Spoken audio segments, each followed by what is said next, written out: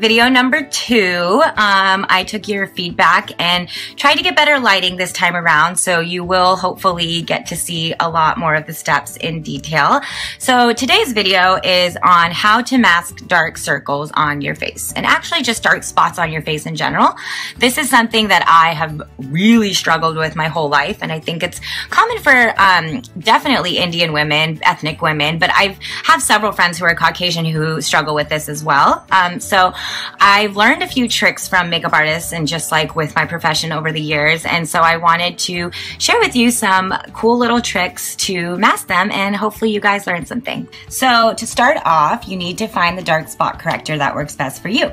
So one thing to note is that they actually do have dark spot correctors that already exist in the market from like brands like Makeup Artist Pro brands. So one from Mud I've used in the past and I actually have one here from Temptu um, that's called the neutralizer wheel. And so this is kind of like something that's really makeup artist friendly. They have every shade depending on whose skin they're, that they're working on. Um, but honestly, like I've created like a DIY version of this. Like why go and spend money on something that you can actually use from like the products you already have at home. So if you have a if you're a similar skin tone to me and have dark spot um, circles under your eyes, I recommend using a really bright orange red lipstick for um, your skin tone because that really will just like even out the dark circles and neutralize your face. So today I have one from MAC. Um, this is like one of the limited edition ones, Marilyn Monroe collection. But honestly, like just use whatever red orangey lipstick you have. I've used one um, from NARS before. It doesn't really matter. Um, I've used plenty. So what you do is you take this and take a makeup brush. This is one that I have from Birchbox and you just kind of dab it in there like so. I don't know if you guys can see this. Okay. And then just like put it under your eyes or honestly, like I think I have used this on places like you can see I have blemishes like on top of my face, but if you have discoloration on your chin or anywhere else, it can go anywhere. The neutralization that this does under your eyes before you put on a concealer is crazy. So I put it a little heavier than like a lot of makeup artists I've seen do on me. Um, but you know what? Like I just think that it works for me and I just like to play with it. Um, no need to take any more than this. This is definitely a, lot more than you really need to do, but um, just kind of rub it in there like so.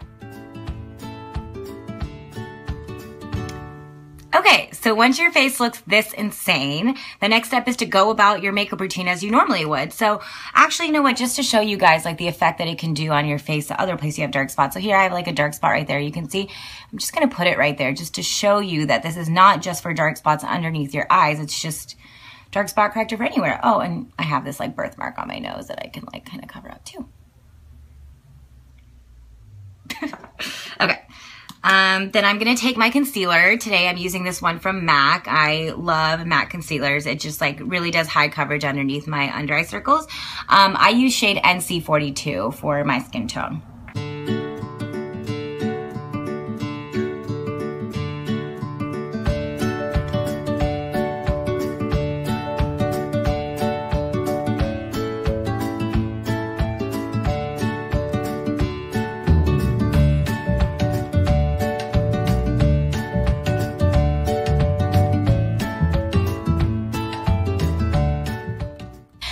Telling you, like the difference between doing this versus just normally putting your concealer. I mean, I've heard from so many girls that even with concealer, you can still seep through and see the dark circles under your eyes. And I have really dark circles and I feel like this masks it pretty well. So now you just go about your normal makeup routine.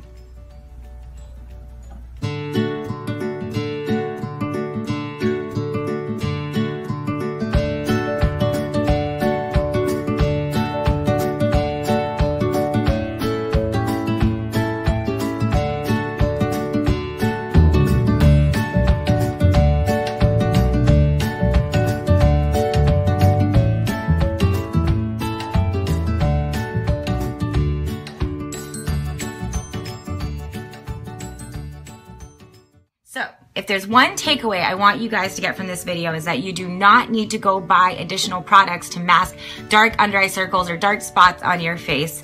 You can use products you already have the comfort of your own home. I'm sure you have a red lipstick and if you have a similar skin tone to me, play with it. Put it on on the places that you feel like you have dark spots on your face and go about your normal makeup routine and you might really surprise yourself and really like how it makes your whole face look. So um, as I asked last time, please leave your thoughts below, negative, positive. I want to hear your feedback.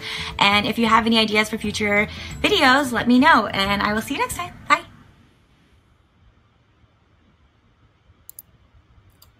Welcome everyone to I Am Remarkable Week 2022. I am so excited to be here with you. I Am Remarkable is a global movement that empowers everyone with a focus on women and underrepresented groups to celebrate their achievements in the workplace and beyond. To date, 400,000 people have attended the workshop across 170 countries and over 1,000 companies. And this year, we are celebrating our third global I Am Remarkable Week, which is the highlight event of our year where we celebrate all things remarkable. The week is running from the 28th to the 30th of September, and you can join all our sessions through our website. To give you an overview of how today's session will flow, we're going to start off hearing from the amazing Deepica, who you just saw, on what makes her remarkable, her views on YouTube, the beauty industry, how she's building community, and hopefully we'll all learn something about her that she's never shared before. We'll then have some time for some live Q&A at the end. So we're hoping you're going to type some questions into the Q&A box and we'll be able to do uh, as best as we can to get to as many questions as possible. Uh, my name is Sapna Chadha. I am the VP of Marketing for India and Southeast Asia for Google based in Singapore. Um, so we have multiple time zones um, here with us today.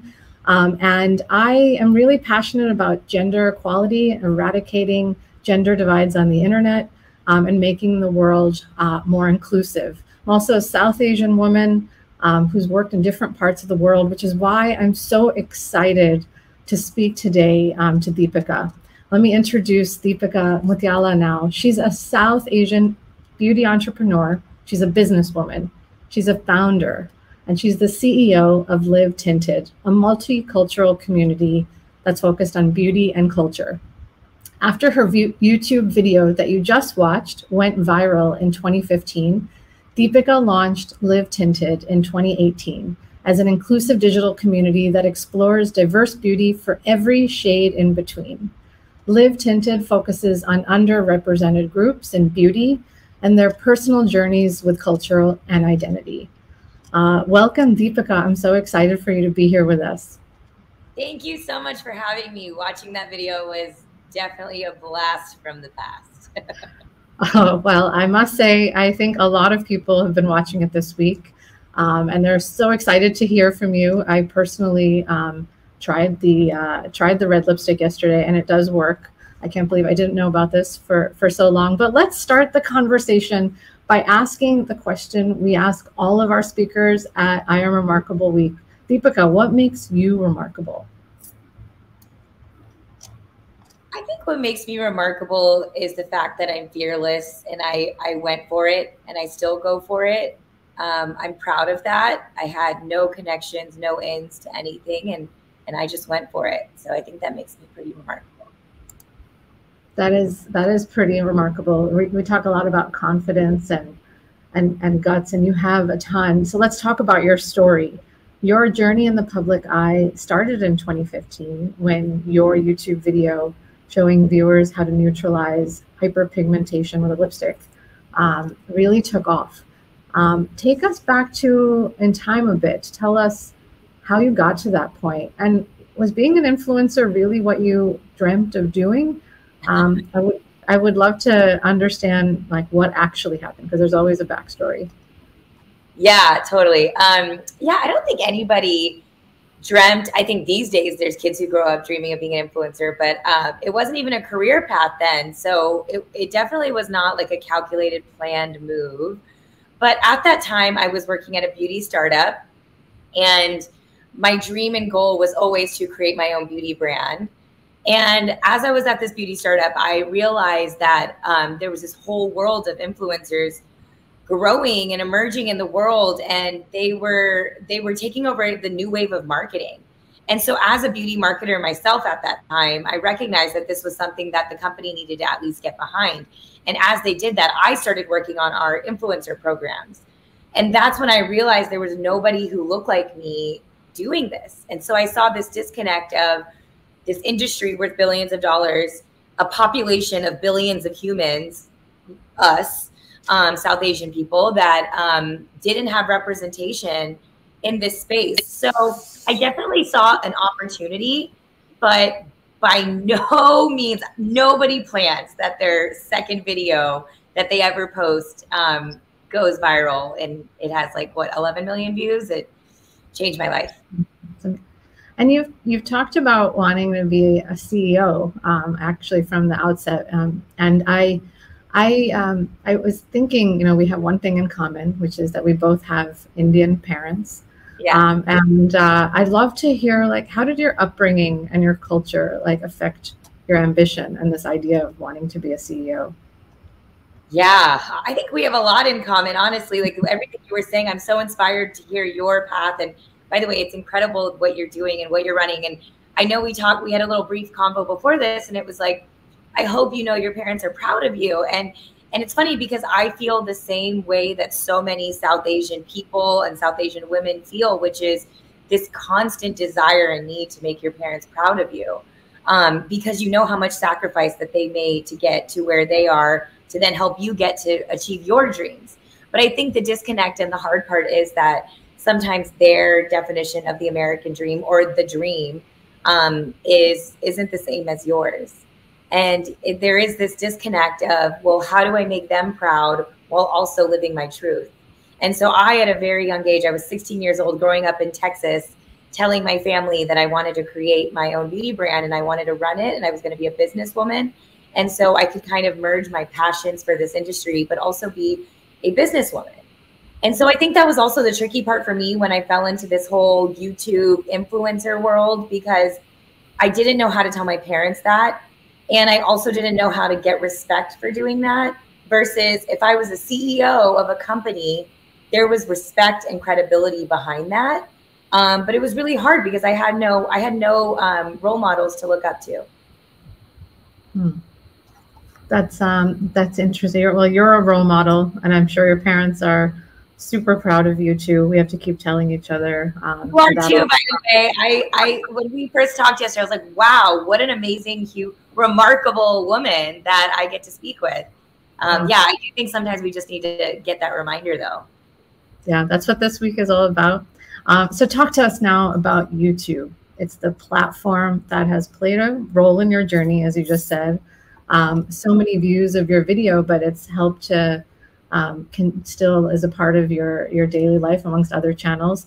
How did um, like what are your thoughts on like beauty influencers, how they're using the platform? How are you using the platform still today for tips and tricks and and like it's been an evolution for the last um, you know seven years, I guess you can say. Love to hear your thoughts on YouTube. Evolution is the perfect word to describe how I feel about it. Um, I'm so grateful because that video that everyone just watched, um, it, it, did change my life. Uh, but I have to give myself credit and recognize that I made the initiative to make that video. And when that video did go viral, I made the leap of faith to quit my job and go for this whole career of being a beauty influencer, which was a wild west. I had, again, no guidance, no connections. I didn't really know what I was doing, but I did know that there was an opportunity in front of me. And and like I said a second ago, I I was fearless. I kind of just felt like I was in my 20s. I had no one else depending on me and I it just felt like there was no other option but just to go for it. It almost felt like the bigger risk was not going for it, if that makes any sense that there was going to be no other time in my life that I had no other um, responsibilities besides myself. And so I, I took the leap of faith and I went for it. And you know, my career ended up being making YouTube videos while simultaneously doing um, segments on TV because, again, I felt like if my parents could have bragging rights and say that I was on um, a national TV show that aired every morning in America that they would have bragging rights, but to tell their friends that their daughter was a YouTuber, granted, many YouTubers um, are creating a career for themselves, making more money than I think anyone ever could have imagined. And so I think it's very interesting because for me, I had some shame around being called a YouTuber or an influencer, but I've gotten over it. Now when somebody says it to me, I I have no I feel no way about it because it is the new way of marketing and there are YouTubers out there that are making an incredible living for themselves. Millions of dollars, hundreds of thousands of dollars, thousands of dollars, whatever path you're on, there is a whole new world out there of marketing that you can either be resistant of or you can educate yourself and get behind it. Um, either way, it's it's shifting and happening and evolving. Like you said, it's been an evolution.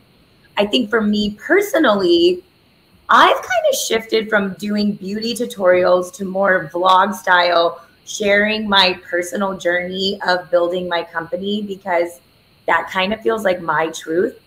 And I guess I, I always constantly ask myself, none of this is worth it unless you are being yourself, being authentic, living your truth, and having joy along the way. And I found myself not enjoying doing the beauty tutorials anymore. It just like wasn't who I really was. I wanted to be a businesswoman. I wanted to run this company. And so I kind of pivoted. Um, but you know, for years I did do that. And I kind of had to feel like there was a point where I just recognized that I found more joy helping other people become influencers and being more the business side of it. That was kind of my realization of like, Deepica, you've done your time. You've been the token brown girl in every brand campaign, everything like name the beauty brand. And I was in that, I did an ad for them. And so it was a really great thing for me, but I felt in my soul and in my bones that it was my purpose to sort of pave and open doors so there wasn't just one of us and there wasn't that scarcity mentality and that we could show that we all could win. And it's just really beautiful to see how many beauty influencers there are that are brown girls, but also just women of color and the diversity that exists now. And it's it's it's awesome to see the evolution. It's absolutely awesome. I love how you talk about your business and your founder. You're a CEO, um, and it's so rare, like to see women CEOs and founders in the first place. And and you mentioned token brown girl being, you know, nobody looked like you. Um, and I think that's so amazing that with all of the barriers that you've had, you've pushed forward um, in this multicultural world to really show that anything's possible. I really love how you you talk about wanting Live Tinted to be a multicultural community and how beauty can bring people in conversation together. Like, tell us a bit about your community, um, where it is, where is it going? Yeah. By the way, can y'all hear me? Okay. There's like a little bit of an echo, but I, I just want to make sure. You, yeah. There was a little bit of a noise, but I can hear you totally fine. Oh, good. Okay. Okay. Just wanted to check. Um, so my community, I think after being um, a beauty influencer, but before that, I was working at a beauty startup, and before that, I was working at the biggest beauty brand in the world, and so I've seen it from every lens. So when I did start my own brand, what I recognized was there was an opportunity to create a community around a collective of humans who haven't seen themselves represented in the beauty industry. And so it was really important to me that instead of just creating this brand and calling it Deep Beauty, um, we did start it as a name that could kind of connect people from all different backgrounds and starting it as a community platform. So what that really meant for me was it simply started as an Instagram page back in 2018 January where I every day would showcase a different face that I felt like wasn't traditionally shown in the beauty industry and we talked about taboo subjects like colorism, facial hair, the big noses, big noses, quote unquote, because it's like, what is big, anyways? And um, I just wanted to open up conversations that I hadn't seen talked about on beauty outlets. And I had so much joy and happiness in kind of building out that community. And once it got to a certain size, I recognized that what we had had hypothesized about this idea of every shade in between, there really were a lot of people who felt like they were in between the beauty narrative. And so what I thought would be a brown community ended up being this beautiful community of people from all different backgrounds who feel like they didn't see themselves it was predominantly South Asian women because there literally was not any brown brand out there that was founded by someone who looked like us. But it was just so beautiful to see people from different backgrounds being like, I'm tinted too. And then I realized this word tinted is something that can connect people because we all have a tint to our skin, no matter where on the spectrum you lie. And that was really beautiful to me and something that I got really excited about that this brand could be so much bigger than I had even imagined it could be. Um, that the stories and that you have pro- probably have, and from the connections in your community, I can only imagine. Would you mind like sharing an inspirational story of some connection through the community that you've experienced? Oh my gosh, yes. I have so many. I mean, I'll, I'll tell you, like, since the beginning, what's kept me going, and anyone who's an entrepreneur that's listening can totally relate to this, I'm sure. It is the hardest journey I've ever experienced in my life. And, and I just don't think people, and again, on social media, no one's really showing the hard side. So that's another reason on my YouTube channel I like to show that. Um, but what's always kept me going is I get daily DMs from people all around the world saying, Thank you. Please keep going. Um, because of you, I went to go be a ballerina, or I went to go be an artist, and I went to go do this because I thought I had to stick in this traditional career path because that's what I was told by my family. But seeing somebody who looks like me do this makes me feel like I can too. So that in itself is inspiring, right? Like on a day to day basis, everything from day one of launching on January 2018 to yesterday, September 28th, 2021. Um, wait, 2020, we're in 2022. Gosh, I don't need, I can't keep up. We're in 2022. Um, just yesterday, we did a community Zoom where we brought together some people who are in the community. I like to do those every once in a while. And um, they shared a story with me. She was like shaking and she just was like, Deepica, I've been dreaming of the day that I can sit here and tell you this that my whole life I never felt like enough. I hid in, under an umbrella, avoided the sun because I was told that if I got any darker, I wouldn't be considered beautiful. And seeing you live your truth and seeing you in these brand campaigns and seeing you build out this community where I see that I'm not alone makes me feel like I'm enough. And that to me is like what this is all about. Honestly, like we're doing it through selling beauty products, but it's really the message and the vehicle behind it that makes me feel like I don't know. It's it, it stands for something deeper, and that to me um, means a lot and something I um, don't take lightly for sure. Wow, wow! I don't know how you don't lose um, your. I was getting a little emotional even just listening to that, um, and it's amazing. To, do you relate? like I do. I mean, I my whole life I I heard the same thing. I think you know around not getting in the sun and and you wondered, right? I, I, I lived part of my life in, in the US, right? And never felt like I belonged there. Actually, coming back to Asia, I always feel like I, I see more people that look like me. Um, but I always wonder why I had to worry about it when I was in the US. Um, and I shouldn't have. And now, like you're you're celebrating diversity and underrepresented groups and kind of living the tenets of uh, this idea of I am remarkable every day, um, and bringing it to workplaces and bringing it to your company. And it's it's amazing to see how you're really showing the world that all hues are beautiful. Um, and I'd love to go back to like where to where this maybe you know you talked about your your start at big beauty brands. Um, you, you, mentioned you worked at L'Oreal um, Victoria's Secret in your early career um, and saw the colorism problem that many of us have experienced. Um, what would you tell your audience today um, on how they can help their own companies. A lot of people listening today are, are advocates of diversity, equity, and inclusion, might be leading teams thinking about how to elevate their brand and their culture by embracing inclusivity and diversity in an authentic way. What would you tell what would you tell them? I would say, first of all, I recognize that it's it's a big, heavy thing to tackle, but it's an important and a, responsibility that we all have to push that forward um, in companies. And the thing is that it cannot be um, done in just one part of the company. So I'll give you an example. A lot of brands in the beauty industry, specifically, but even outside of it, are doing a lot of campaigns and marketing efforts showcasing in their marketing efforts diversity. They'll have people from different backgrounds But it, something I always notice, like I mentioned earlier, is the tokenization of it. They'll have their like token black girl, token brown girl, token every race. And that's kind of, and they feel like we did it. Um, and then there's some that are doing better and not just tokenizing it and having multiple within their marketing efforts again. So that's very forward facing and something that I feel like is good. It's great. And I think it is important. I think the thing that needs to exist and is so, so critical for not even just because you know, I think a lot of companies, if we're all being honest, are doing it in a performative way that they feel like they must because of the state of the world and everything that's happened since 2020. But I think that part of me doesn't look at that as a let's not be so negative on it because progress is progress. And you think about the next generation of people growing up, they won't see it as performative. They're just going to grow up in a world where it exists.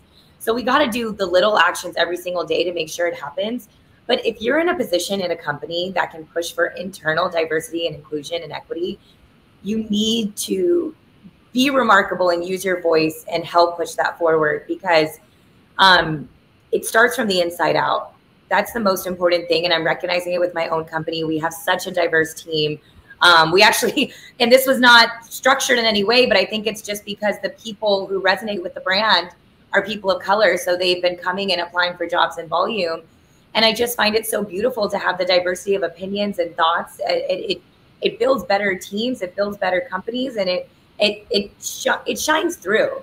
And then that need for performative action goes away because you have it from the inside out. So I think, you know, staying away from performative action, get the right people in the room, the diverse voices in the room, so you can make that action happen on the inside and then showcase it on the outside.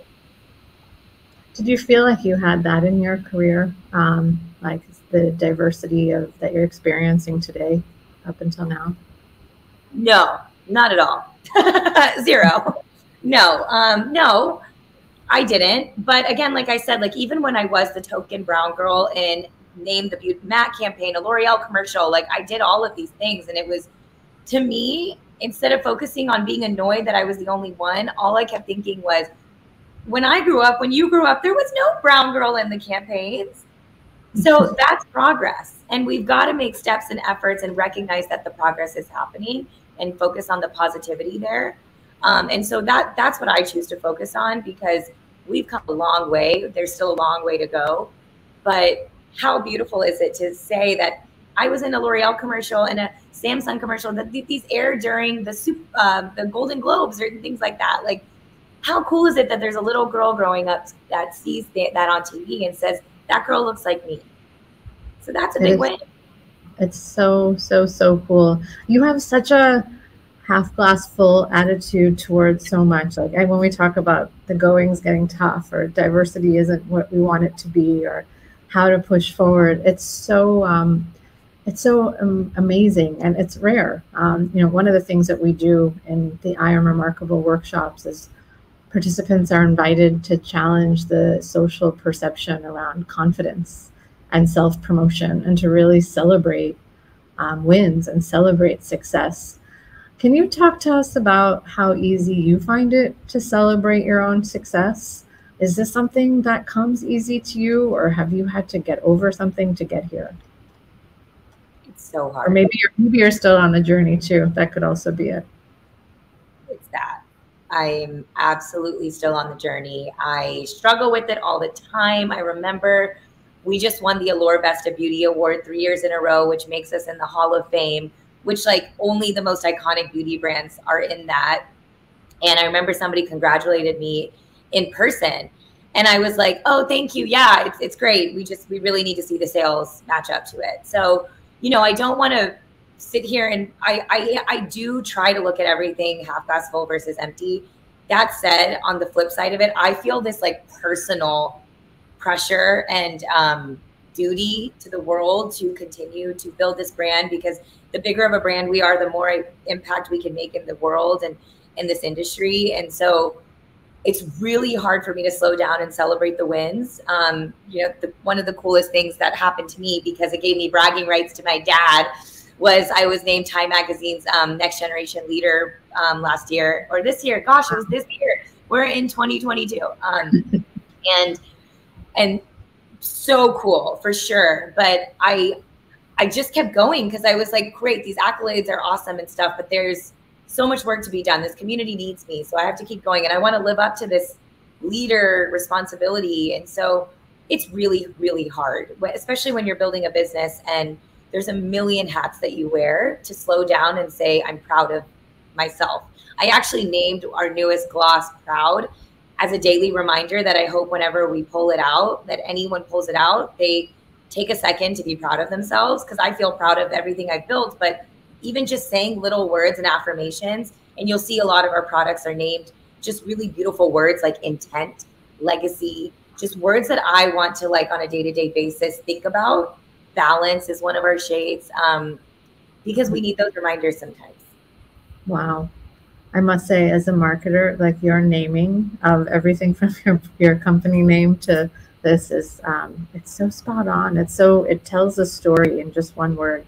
Uh, tinted. I, I loved your explanation of that. But you've been successful in in many areas, but we all know what it's like to fail at something. Also, um, share what like ex- experience that you've had, personal, professional. How do you cope with failure? Well, I've had to shape the word failure and shift it even when I say it out loud to like saying it's lessons learned because failure just feels like such a negative word. And if you say you're failing, all because mm. I failed a lot, I still fail. But if you shape it as lessons learned, it's actually like, yeah, I, I had another lesson learned today. So that's mm. nice. That's good. I've learned from this and I'll do better the next time. And then it just kind of really puts life and things into perspective because again sometimes everything in our own lives feels so big um and then when you really just like take a step back and focus on the gratitude of like how blessed am i that i'm building my dream company and like i might have failed. Um, i've experienced that a lot. I'm going through fundraising. I mentioned this to you. Um, it's like the hardest thing i've done in my life and i i don't want to look at as failures because like i'm this is my first time being a ceo this is my first time building a company.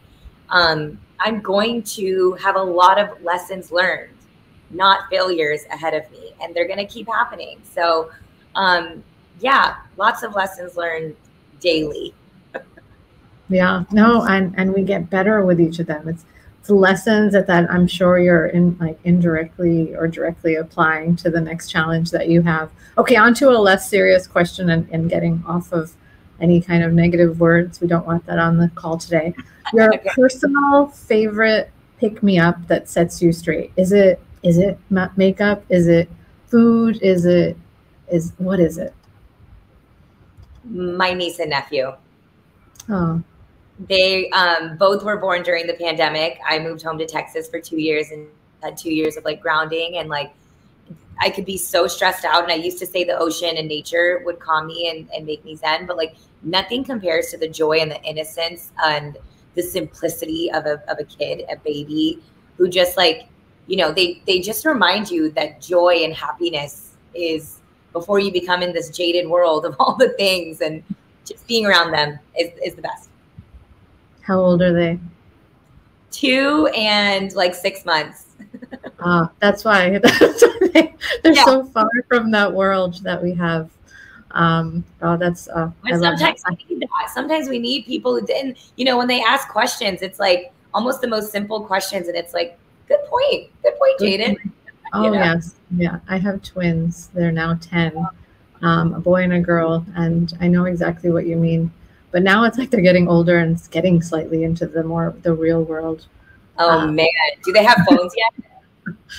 yeah, I gave in. I told myself I wouldn't, but I, I just gave in. And totally, yeah, you have to. I, anyways, that's a different discussion. Yeah. I, tr- I tried. To. Yeah. uh, so speaking of um, like life, you just started a new chapter in your life. You moved back to California. Um, what's next for you, and what's next for Live Tinted? So as a business owner, you obviously have to do planning and forecasting and strategy sessions for the next year, two years, five years. Um, but I feel like if there's anything we've learned the last two years is that life is so freaking short. And there are so many great things, le- lessons and wins and things happening on a day to day basis that if I get so caught up in the what is the end game for Live Tinted, I'm going to take away from the joy of what's happening right now. And it's a daily practice. I'm saying this to you many times in this conversation because I think everyone needs to be reminded many times that we need to just find the joy in day to day life. And so I'm so happy to be back in LA with the team. Like I was just in the office earlier today and it's so efficient and quick and the energy of them gives fuels me. And I think it's like a mutual thing both ways. Um, but there's so many exciting things happening. We had a partnership just launched. We're already working on the next partnership. There's like a couple of them happening in the next few weeks. If I get so caught up in the the sales, which again is really hard because I'm the founder, but I'm also the CEO. So there is like a, you know, a, a duty I have to make sure that we're financially at a great place. Um, but I, I have to balance the two because what is the point otherwise? What is the point? You seem to have such an amazing team from what I've experienced thus far. Um, and you guys seem like you have a ton of fun together. So I'm sure being back in real life um, has changed a lot for for all, for the company. Um, I, I, I know that it like what it's like to be with your team now. I know there's a lot of debates on should we be in person or not. I uh, know. Uh, but yeah, but I actually I saw one of the videos of your team doing a bit of a dance to the Kala Chashma trend song that, and I I cracked up. So um, let's um, now let's move um, into Q and A um, from the audience. Um, we're getting ready. Please do put in your questions um, so we can have Deepica address questions on your mind. I think we have our first question that's come in. It is from Sandhya. Hi, Deepica. Firstly, thank you for representing the community so well. Secondly, I'm expecting a baby girl later this year. If you could tell her one thing to empower her based on your personal experience, what would that be? Wow. Be unapologetically yourself. And the key word there is unapologetically because um, my biggest regret growing up was that I was so embarrassed of my parents. I was so embarrassed of my family. I was so embarrassed of my culture and i just want every little girl out there to know that like the things that are unique about you are the things that will make you stand out and win and succeed and just enjoy life more like all the things i used to be embarrassed about my thick brows and um, my big south indian eyes it's just all these things now they're my favorite features about myself. I used to dye my hair blonde. I love my jet black hair now. And i just want you know your little girl to grow up just know that like what makes you different that makes you you is really dope. Um, and i hope everyone growing up today remembers that. I'm going to tell my daughter that. I um i have to ask as a follow-up to that like what changed? You you mentioned at one point you were dyeing your hair and you were using blue lenses. Like what was the trigger? What what happened? That made me kind of embrace who i am. Yeah to make you unapologetic just like you said. Well, I to be honest, I think it's very recent years that I finally have gotten this confidence, um, and it's come through my own success in my career that I've built that confidence. Which is why I just, it's sad to say that I would say like at 30 years of life, I feel the most confident I, I, I ever have. But like, it sucks that you can't be 16 and feel that way. And granted, like that's a part of life and the journey of life, and I think we go through those journeys till the end of life but I think the parts that shouldn't exist is the idea of like where you come from, your skin tone. That should be celebrated. You know, there's always going to be insecurities throughout life, but the skin tone piece of it makes it so sad to me. And what I hope we can change through the power of the beauty industry, at least my part and what I can do there.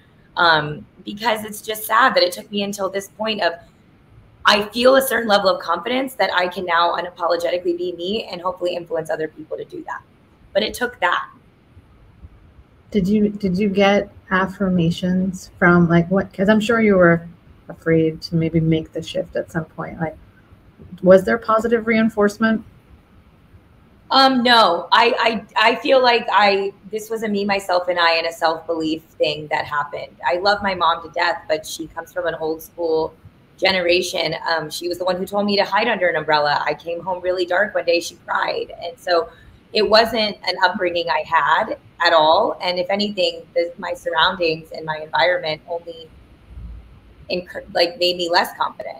Um, so it, it, was very much a lot of self work. I've been in therapy since I was 25 years old. I've been working on myself. Um, and so, yeah, I think again, it goes back to why I think I'm remarkable. Is like I went for it, I did it, and I did it for me and others. But like I, I, I did it me, myself, and I.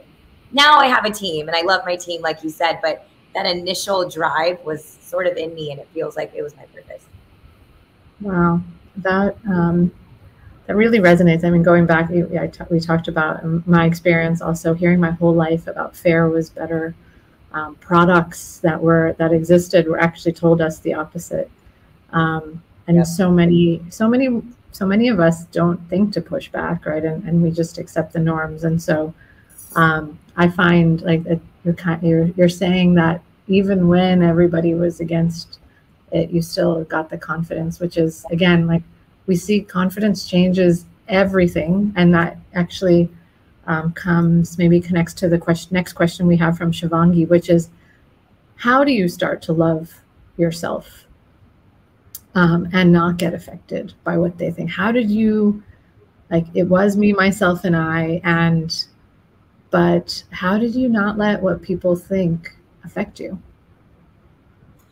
To be fair, it did for a very long time, especially in the social media world. Like I would get so hurt. I never got hurt by people making comments about my like physical appearance and stuff like that because the way I always thought about it was like I, I, I almost have sympathy and empathy for the people who say those things to me online because I always think about how much pain they must be going through themselves to be saying something negative about someone they've literally never met in their life. Like I, I always end up like I, I feel like I'm an empath. So every time somebody says that, I feel this like pain in me. It's like, wow, that's really sad that you felt like you had to attack me today. You don't even know me. You don't know, you see this much of me on the internet. Um, that's really sad. So I think a piece of me is, it's that lens of if you, if, if you're talking about the online sphere, but then on the bigger picture, you know, this is going to sound a little morbid, but I think the second I got into my 30s, and I'm sure each decade of my life, it's going to keep getting there, but you realize the, the mortality of your life. And you start to recognize that when it's all said and done and you're like i don't know 85 years old 90 years old sitting there do you really want to look back and say that you spent so much of your life not experiencing happiness and joy because you cared what a stranger thought about you like it just feels a little silly when you put it in that context and i think just putting it into that perspective reminds me that right now i want to love my life and it, it, this is again easier said than done. Do not I do not want people to think that I'm waking up joyful and I got this, but it's almost like I have to remind myself these things because otherwise you'll just go nuts with all the chaos of entrepreneurship, you know? No, absolutely. I um I think that that that really resonates and that balance, right? Like and it's probably circular what you go through every day and you have to keep coming out of it. Um, I have um, another question here, um, which is from Sumana, and it talks about the fear of speaking up. Um, so, is it sometimes daunting to speak up for what you believe in? And you talked about this a little bit earlier in terms of um, when you have to go pitch for your company at the cost of like getting judged and stereotyped. How do you speak up for uh, for this, and how do you talk yourself into doing what you do and how do you maintain the balance between all the different roles that you hold? Yeah, I'm all there's good a, a bunch of pieces in there. yeah, there's a lot in there. I want to answer them. Um, um, so I think the first part of it is is like, yeah, I mean, I I still to this day hear more no more no's than yeses, especially when it relates to my company and like pitching the idea of even this brand for redefining cool and what cool should be in the beauty industry. And God, there were so many times that I was like so sad. I cried when I would pitch and then they would tell me like no and all those things. Um, I think I have like a little bit of a pity party where I'll like sit there and literally cry in bed and then I'll wake up and just keep going because again, I just feel like this is what I was here to do. Um, and and there are those people who encourage me. I do feel very fortunate that I feel like I have a whole squad of humans and a whole honestly race that is rooting for me, which happens to be a fourth of the world, just rooting for me. And so I think that helps. Um, but I mean, I hear no's all the time. I've heard no's from South Asian people, which is unfortunate and, and really felt crappy, honestly. But they're the same people now who are asking to invest and, and want to get a meeting with me. And so I almost have this delusional level of self belief, is, is the really only way to say it. Um, and then this whole idea of balance, you know, I think it's, I do believe you can have everything you want in life. I just don't know if you can have them all at once at the same time. Mm-hmm. Mm. Because I, I really don't have a personal life at all. Like I, my parents ask me all the time when I'm going to go on a date and, and it's like, I can't even think about that. It's, it's too hard. I'm going to start now, now that I have this amazing team in place. But I just think that it's this very false narrative to pretend like you can do everything as if there's a million hours in a day. Like I have to prioritize my company and my family and then whatever friends I can. But quite honestly, those have kind of fallen to the back burner. And now it's like my company, my family, and myself. Um, and then it's hard to do the other two things. But that's why I'm building the company to a certain size where I can just focus on what I need to be doing. And then hopefully I can bring back in a thing called a personal life. So I don't think we should be so hard on ourselves and recognize that there's different priorities at different moments in your life, and that's okay. I love that because I think there is a false um, belief that you can have it all at any given point in time. And I, working hard is absolutely critical, especially to be a founder. There's no option around working hard to move forward as well. And so I love that idea about staging things um, because, and, and to be realistic um, about that as well. I'm sure you're getting a lot of pressure. Um, again, coming back to the Indian parents, I can see it, but I can tell you I push back on mine as well. Um, and uh, can happen later in life. That's what I realized. Yeah, exactly. um, so I do believe it'll happen. You know, that's why I don't. I'm not like stressed about it. I have. I haven't made any effort towards it, and that's exactly. okay. Like I, you know, what's so beautiful about that is like I know who I am from the inside out because I've done so much self work. So I'm going to be that much better of a partner one day. And I feel yes. like if I had done it any earlier in my life, I wouldn't have been able to be the best version of me for whoever that person is. So I have I have no like sadness towards it. I do want to mm-hmm. start now at this point in my life, but like it's not in like a way of like, oh no, all my friends are married. Oh no, I'm Indian and I'm not married. Like I really don't feel that way at all. Yeah. That's another set of videos that I'm sure could go viral if you could. um, um, question from Schumann. Love your sharing and your energy. Have you ever had an experience when you were genuinely trying to use your voice to elevate others and increase representation, but your efforts got called out as performative instead? What did you do when that happened? Yeah, I see those comments here and there. Um, what I focus on is there is a whole collective of people who are saying positive things and rooting for me. And then you can see that one comment and it can throw off your entire day. So I've had to get to the point now where I'm like recognizing that it is that one comment. Um, literally, it, it, the scale of volume, it's like hundreds and hundreds of comments that are so sweet. And then there's a person who's like, I don't believe it. I don't believe what she's doing. She's just trying to make a quick buck. And that's mm-hmm. where it goes back to just knowing yourself and who you are and doing that work on that. Because then what other people say about you just kind of feels like it just slides off your shoulders because you're like, all right, cool, bro. You don't know me. That's fine. I know what I'm doing, and the people who support me know what I'm doing, and that's enough for me.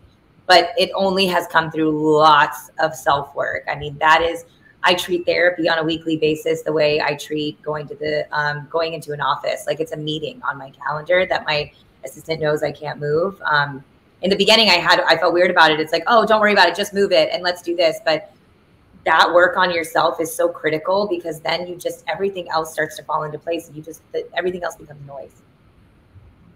Wow. Okay, I'm adapting that one from this week. Um, uh, another question that we have is actually, can I ask a follow up? When you do get the um, the negative online comments, like how do you or your team how do you respond now, or do you? Well, it did get to the point where you know because it, it it really really deteriorates your mental health, and I care so much about like again that empath in me so it got to the point where again I had to outsource it. Like I got to the point where I try not to look at the comments. I still do because it's hard to not, and I like responding to the sweet comments. But I, I had to outsource for the things that I knew were noise in my head, and I have like somebody who helps me with my social media now. Um, but I, I really, really encourage people to like set um, times of how much they'll be on social because it just is literally going to deteriorate your mental health. It's not worth it. Um, one of my friends, Jay Shetty, he said this to me and he was like, Do you let a hundred people into your bedroom every single morning? That would be insane. Well, you wouldn't wake up and do that first thing. So why do we open up our phone and read hundreds of comments from random humans that we don't know? that that is so unhealthy to your brain. So um, same thing for when you go to bed at night. Like why why are we going to bed with those thoughts of a hundred others rather than the thoughts of our own?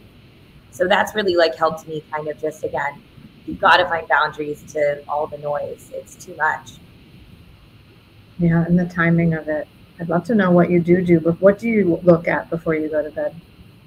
Um, I'm not perfect. Again, like it's really hard because again, I, I am an entrepreneur and I can't help but look at Slack or my emails, especially now that we're fundraising and there's so much going on with it. But I try. I do have a practice I put into place, but I, it doesn't always work.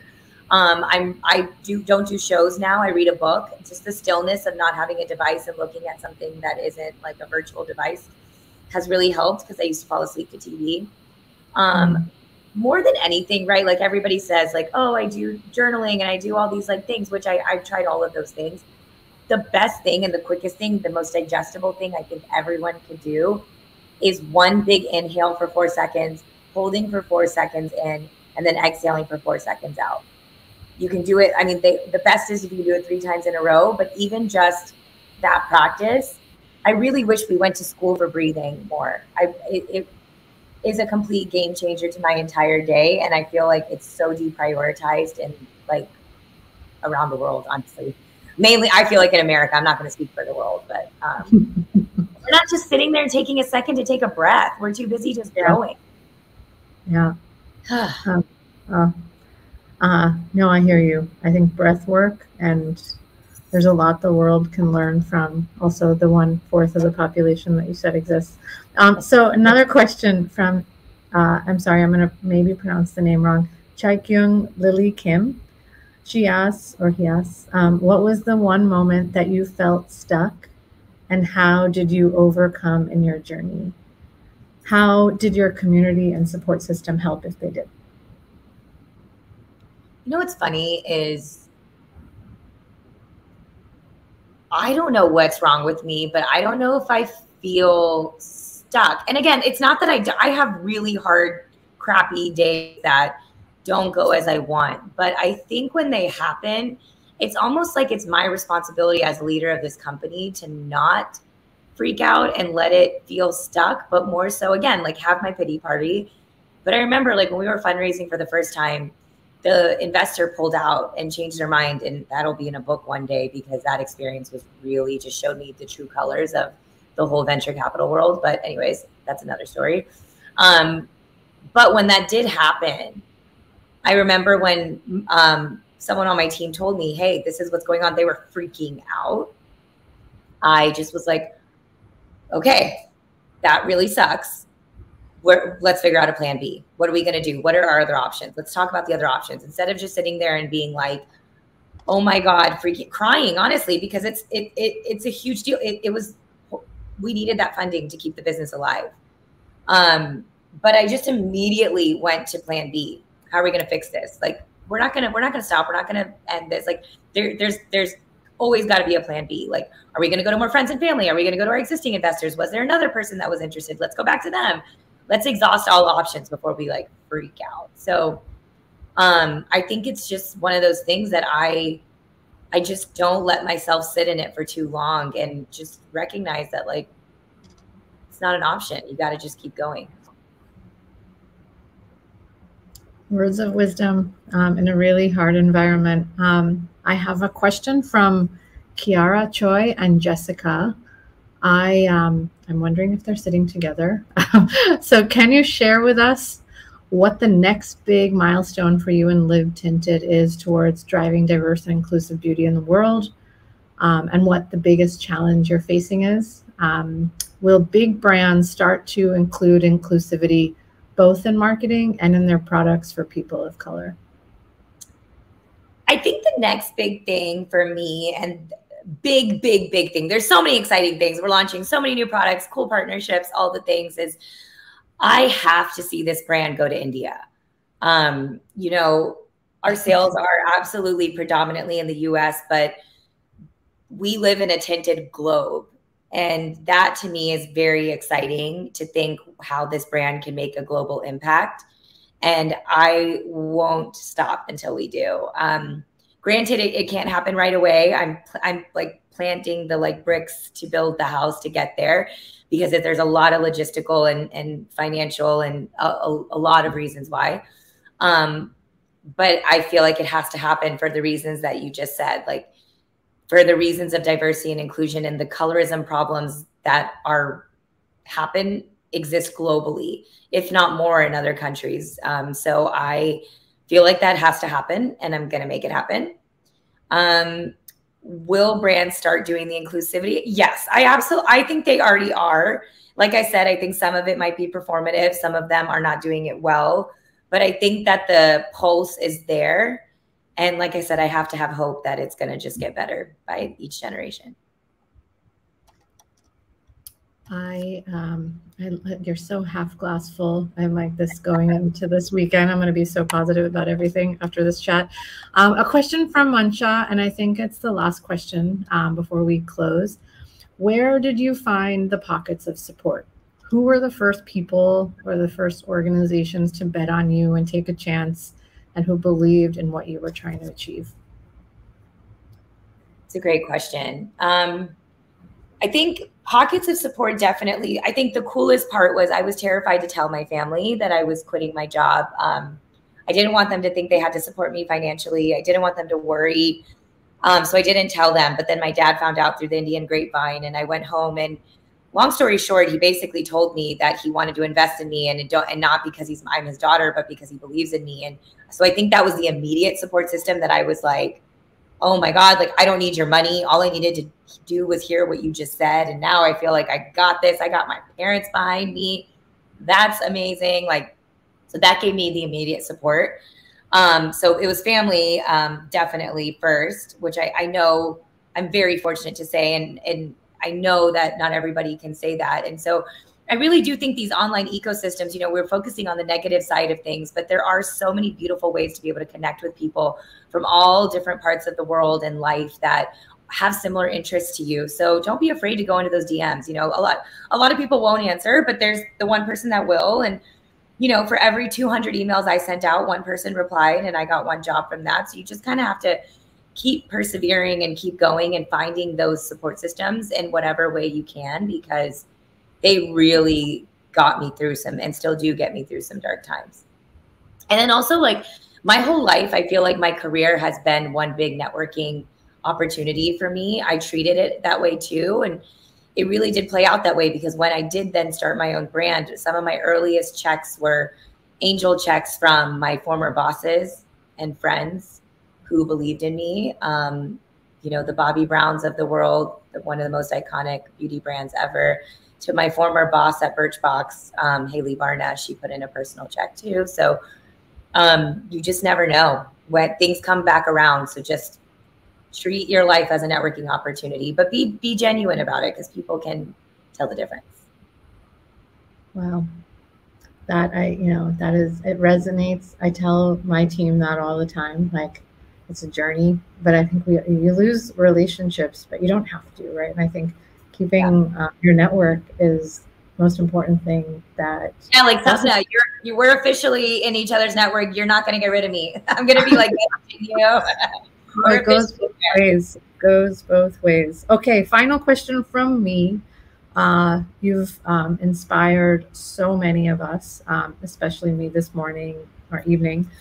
Leave our audience with your closing statement um, you've said so many inspiring things. What's the one thing that you've told us today or that you haven't told us that you want us to take away? One thing, man. Uh, well, I mean, you know, I just think that so many people look for advice, and I know that I am one of those people who's looking for advice and guidance from others. But I really hope that this is going to sound silly and funny, but I hope you don't take too much advice from others and build your own journey. Because I think that the reality is like, yes, like please like get inspired and take the nuggets of this that apply to you. But I think the problem with me is that when I first started, I read so many about other successful entrepreneurs' journeys. And then I had on my cap table as investors some of the biggest entrepreneurs in the world who have built massive companies. And and you know, I went to them for their advice and guidance and all the things. And it got to the point where it became noise in my head and I stopped trusting my own gut and I stopped like thinking like, oh well, I can't do this because they told me I, I'm this isn't how you build a brand.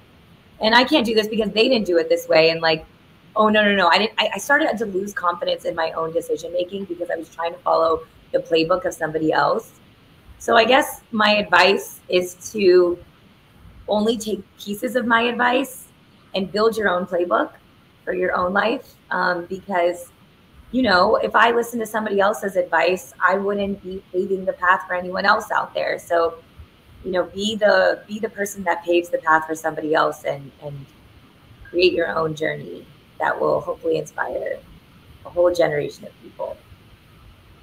Wow, what a way to sum it up. Um, and I will say, Deepica, you do have billions of people around the world that are rooting for you. Um, Thank you. you. But tell the billions to buy the products because we, you know, you know how many investors tell me that the South Asian audience is not big enough. Every investor meeting I go to, because they're in the U.S., it's five million, and I'm like, let's talk about the global audience of people rooting for this brand. And so I need proof is in the numbers. So please, everyone go. Live Tinted is available in all Ulta beauty stores in the US and livetinted.com ships worldwide. So you can go out and buy the products, support women of color, own businesses, and and support yourself um, and increase your confidence. I'm I walk away today with a lot more confidence myself after listening to you, but also around that point around taking the nuggets that work, but also building your own playbook um, really, really, really sticks with me. Um, so many people watching this today are remarkable. And Deepica, you're remarkable for giving us your time. I want to thank you for being a part of our third I Am Remarkable week celebrations. Um, and I want to remind everyone to tune into our global awards ceremony, which is happening later today um, from the same links that, that you've received. Um, thank you once again, Deepica, um, for giving us your time on your evening. Thank you for having me, and you are also remarkable. I'm so honored. Thank you. Bye, everyone.